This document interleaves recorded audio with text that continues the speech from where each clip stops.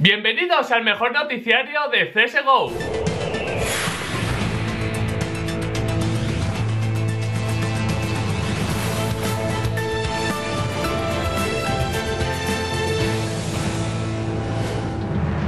Primera noticia del día de hoy es que muchísima gente me ha venido alarmada en Twitter diciendo que se están clonando skins. Yo es algo que evidentemente no me creía, pero ahora mismo vais a ver CS Money, una de las mejores páginas de tradeo de skins. Esto no es publicidad, ya lo digo, pero vais a ver cómo en su inventario, chicos y chicas, hay un montón de Dragon Lores Factory New con exactamente el mismo float. Como sabéis, es imposible que, eh, que un arma tenga el mismo float que otra. Pues aquí estáis viendo que sí, que es una realidad y al igual también Karambit Ruby que tienen el mismo float. Eh, ¿Hay algún motivo detrás de esto? Yo os expliqué hace un montón de tiempo que eh, haya más clonadas o con el mismo número porque cuando a ti te robaban una skin, Valve te la devolvía exactamente con el mismo float y estas son esas armas chicos y chicas.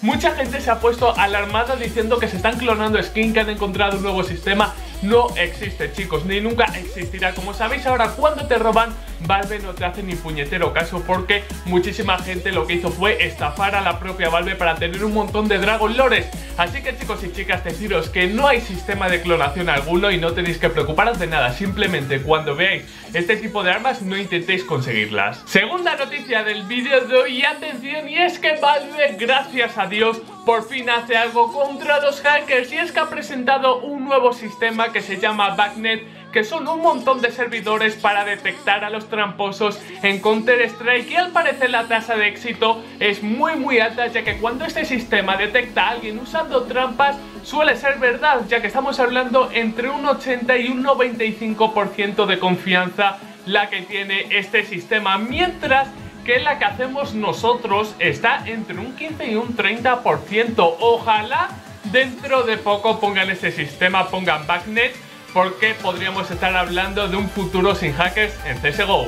Siguiente noticia del día de hoy tiene que ver con las actualizaciones de Counter-Strike ya que hay muchísima gente preocupada con ellas. No se sabe nada del nuevo mapa que va a ser remasterizado, no se sabe siquiera si todo se va a incluir en el map pool ya que muchísimos jugadores profesionales han comentado que no quieren que vuelva Dust 2, pero lo último que sabemos es, fijaros aquí, han bajado el dinero de la Naked y también han reducido su eh, penetración de armadura, cosa que veo una... O sea, vamos a ver, tenéis en el juego la CZ que está completamente rota, tenéis todos los mapas por sacar eh, en el sentido de alguno tendréis que remasterizar, alguno tendréis que poner en el map full.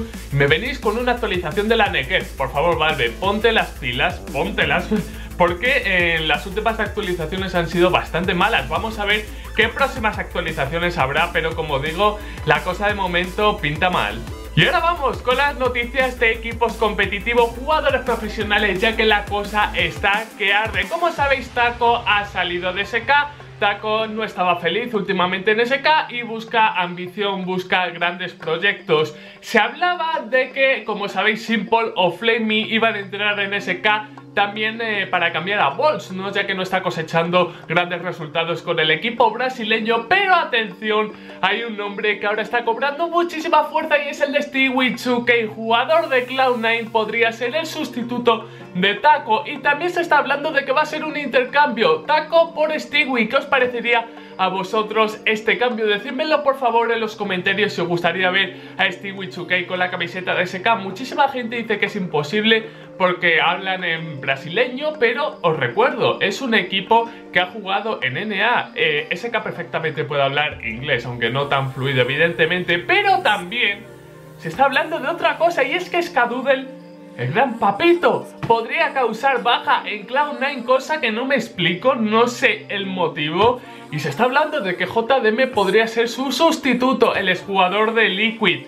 Vamos a ver si esta noticia eh, es real, ¿no? Y se lleva a cabo. Pero esta sí que me sorprendería porque Skadoodle es Cloud9, o sea, literalmente. Y ahora vamos con las noticias de jugadores eh, nacionales y también equipos latinoamericanos. Vamos a empezar de hecho por Isuru, ya que Straka vuelve a las filas del equipo argentino sustituyendo a Zote. De hecho, ya está en la Gaming House, están jugando en Brasil, así que muchísima suerte al equipo argentino. Straka, bienvenido de nuevo a Isurus y ahora vamos con una noticia que da muchísimo que hablar y es que ahora mismo Existence ha puesto eh, transferibles a Kairi y a Soccer. Los dos jugadores españoles han dicho que están buscando equipos, ya sea nacional o internacional, ojalá sea internacional, así que muchísima suerte a ellos. La verdad que el paso que hicieron por la West no fue del todo malo, lo hicieron bastante bien, de hecho ganaron también algo, equipo polaco, así que nada, darle la suerte a estos dos jugadores españoles. Y última noticia del vídeo de hoy es que muchísimos de vosotros me estáis diciendo, Black, ¿cuándo van a ser